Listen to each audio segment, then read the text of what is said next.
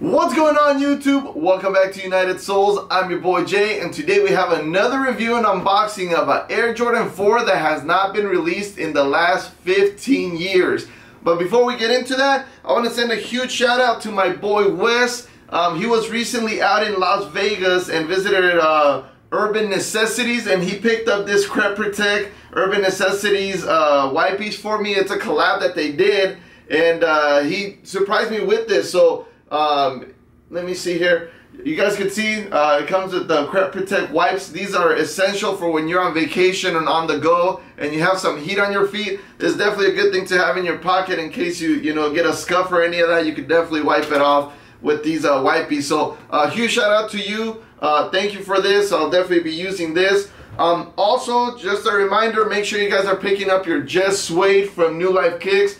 Um, this uh, product, like I stated before, has been formulated specifically for nubuck and uh, suede materials. So um, if you clean any of your Toro 4s or, or the Cool Grays or any, any of your shoes that have nubuck, um, you could definitely damage them um, if you clean them with anything uh, that's out there currently in the market. So, like I said, this specifically formulated for uh, uh, for suede and nubuck. Um, I'll be leaving his information down below so you guys can go ahead and uh, head over to his website and his page um, so you guys can pick yourself up some of this Just Suede. So with all that out of the way, let's go ahead and get into the unboxing. So I'm sure you guys already figured it out, but what I have here for you guys is the Air Jordan 4 Retro Cool Gray. Uh, colors is Cool Gray, Chrome, Dark Charcoal. Um, color code is 308 497 007. We got a size 9 on this pair uh, uh, for retail price of $190.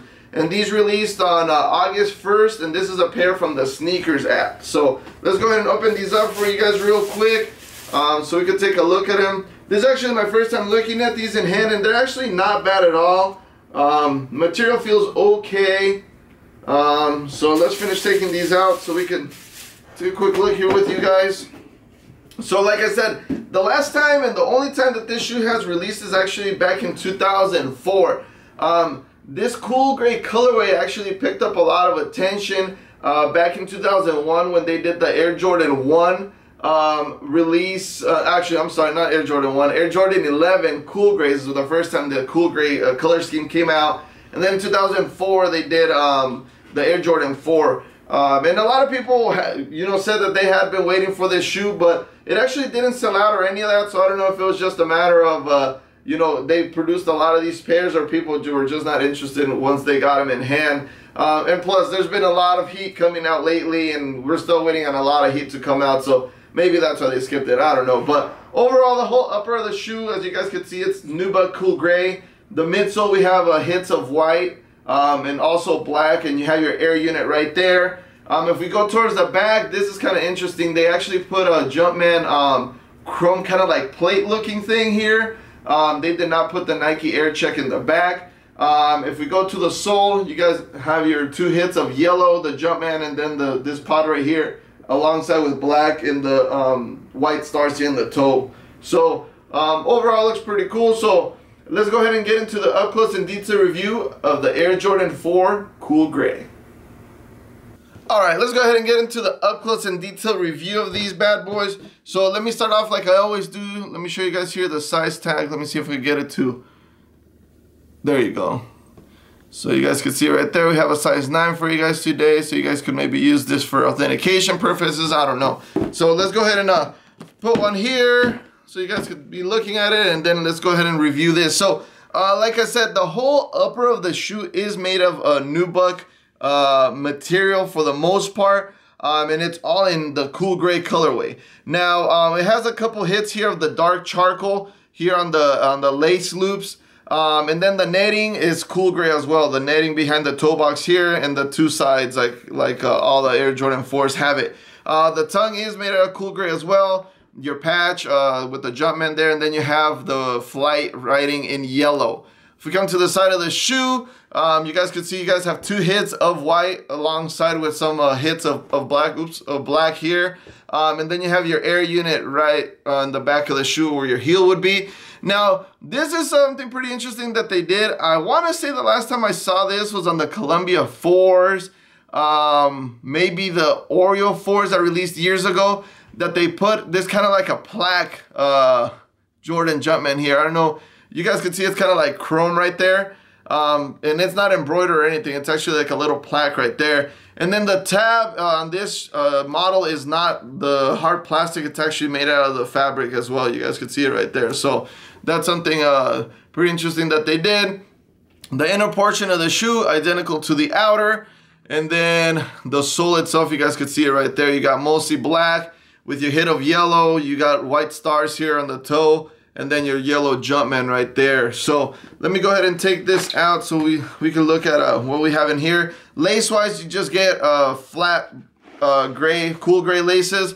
Your shoe tree, you get a cardboard shoe tree, and you should be getting this as well. Now, on the back of the um, your tongue, you are getting a yellow tag, the ones that says Air Jordan.